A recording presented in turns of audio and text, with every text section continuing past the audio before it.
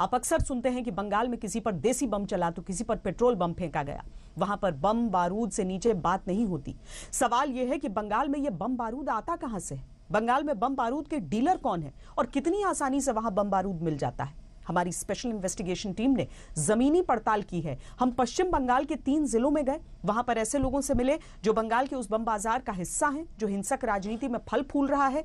फल सब्जियों की तरह कैसे बम बिक रहे हैं? घरों में बैठकर आसानी से कैसे लोग बम के ऑर्डर ले रहे हैं? जैसे कपड़े की दुकान चलाने वाले भी बम की सेल लगाकर बैठे हों। कैसे जंगलों के अंदर बम की फैक्ट्रियाँ चल रही हैं? बंगाल की राजनीति करने वाले आज बंगाल का यह विस्फोटक सत्य देखने की क्षमता रखें।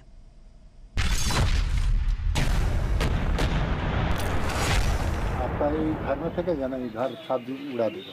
अच्छा इतना स्ट्रॉन्ग हाँ माल करना है तो अभी से माल माल कर लीजिए इलेक्शन का टाइम में देखिए माल का रेट बढ़ेगा माल ठीक ठाक नहीं होगा। माल लोग भी डिमांड कर रहे हैं ना? हाँ, बहुत डिमांड होगा। अभी इस इस साल में तो दोनों पार्टी एकदम कड़क कड़क लाएगा।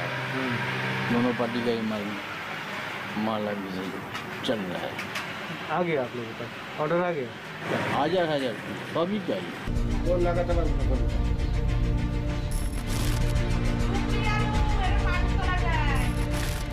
बंगाल में बम के इन डीलर्स की एक एक बात आप ध्यान से सुनिए क्योंकि इन बातों में बंगाल का वो विस्फोटक सच है जो आज तक की स्पेशल इन्वेस्टिगेशन टीम आपके सामने लेकर आई है।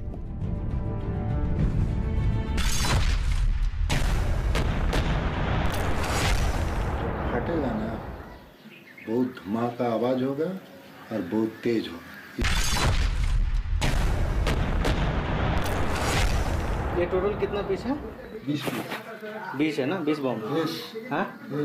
बीस?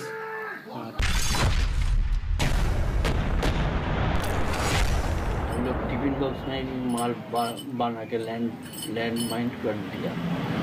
कहाँ?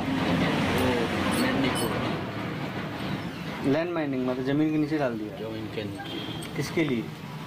मेदिनीपुर में ये मतलब का इलेक्शन के टाइम इलेक्शन का टाइम नहीं माओवादी जब काम करता था माइंड था हम्म। कुछ हम भी माल दिया था।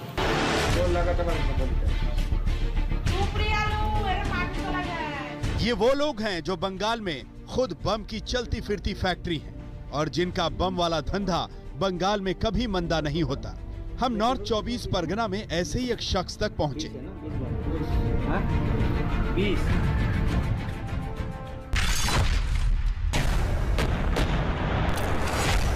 आपको ऑर्डर दे दिया तो सौ पीस कितने दिनों में मिल जाएगा?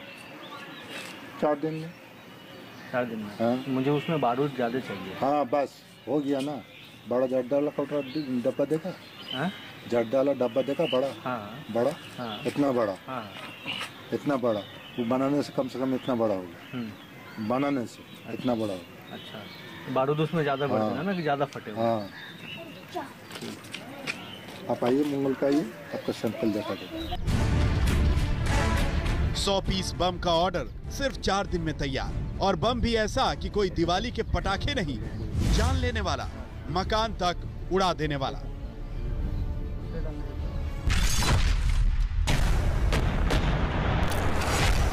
ये घर में फेंकेगा ना ये घर साथ उड़ा देगा अच्छा इतना स्ट्रॉन्ग हाँ वो लगा था नट बोल्ट कीलो वाले बम कितना भी खतरनाक बम चाहिए वो बनकर मिल जाएगा। कितने भी बम का ऑर्डर दीजिए वो भी मिल जाएगा। सैंपल देखिए ऑर्डर दीजिए।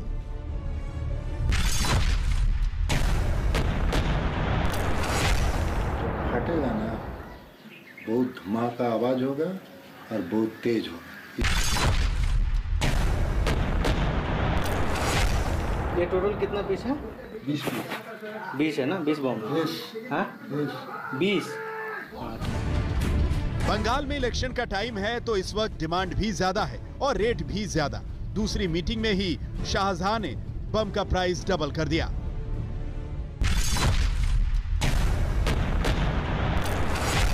रेट बढ़ा देता है दो सौ पच्चीस रुपया करके लगता है इलेक्शन के वक्त हाँ।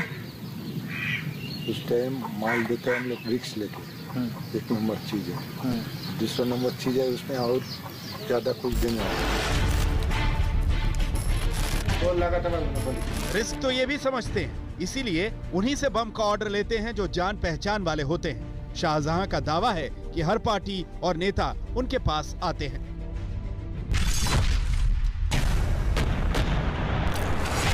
आप पार्टी लोगों को देते हो या नेता लोगों को जान पहचान वाले किसको देते हो? नेता लोग को भी देता है। नेता लोग को भी किस पार्टी? दो पार्टी। दो पार्टी। लेकिन जान पहचान आप इस दूसरे शख्स से मिलिए। दक्षिण 24 परगना में हम बम डीलर के पास पहुँचे। इसका नाम शिवम है। जो सिर्फ़ देसी बम बनाने में ही नहीं बंदूक और लैंडमाइन तक सप्लाई करने के दावे करता है। हम लोग टिफ़िन बॉक्स में माल बा- बना के लैंड लैंड माइंड कर दिया। कहाँ? लैंड माइनिंग मतलब ज़मीन के नीचे डाल दिया। ज़मीन के नीचे। किसके लिए? मेदिनीपुर में ये मतलब का इलेक्शन के टाइम इलेक्शन का टाइम नहीं माओवादी जब काम करता था हम्म। लाइन माइंड था, हम्म। कुछ हम भी माल दिया था। शिवम नाम के शख्स ने एक बम का रेट 130 रुपए लगाया और ये भी दावा किया कि पुलिस को सब पता होता है। इलेक्शन के टाइम पर उनके पास हज़ार पीस का ऑर्डर भी आ चुका है।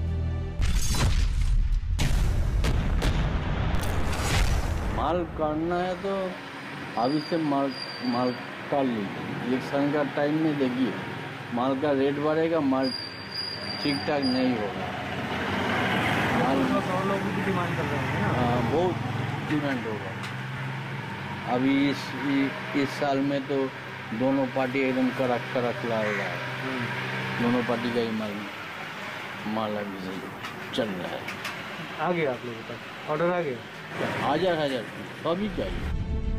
बंगाल के इस बम बाज़ार की सीक्रेट इन्वेस्टिगेशन में हम वर्धमान ज़िले में पहुँचे जहाँ हमें शफीक नाम का ये शख्स मिला। इसने बम के अंदर बारूद के हिसाब से हमें रेट बताया।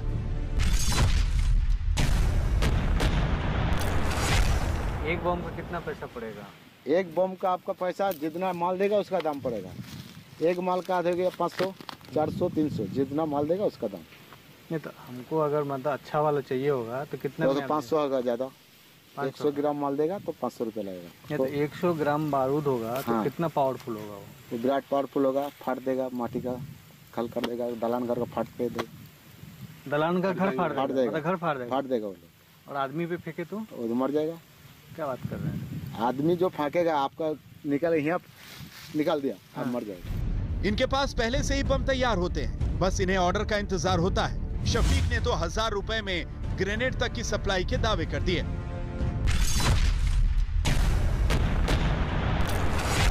कितना रखा हुआ अपना बात नहीं सुनना चाहिए। छः सौ होगा सात सौ भी होगा। छह सौ सात सौ हाँ रखेंगे। बना कर अभी रखे अभी रखा हुआ है। ये कौन सा होता है पेट्रोल बम होता है या फिर पेट्रोल। पेट्रोल होता है? एक माल है लीजिए हज़ार रुपया का। ऐसे ऐसे निकालेगा एक तो थोड़ा सा ऐसे कर दिएगा फट जाएगा। उसका कारण है कारण सिस्टम है वो अंदर। अच्छा। गैनेट बोलता है। इसका गैनेट बोलता है एक हज़ार का नाम है एक एक का दाम यानी बम बंदूक, लैंडमाइन बारूद और ग्रेनेड तक सबकी बंगाल के इस बम बाज़ार में सीक्रेट से लगी हुई है। ऐसे में राजनीतिक हिंसा वाला कल्चर आखिर खत्म कैसे होगा?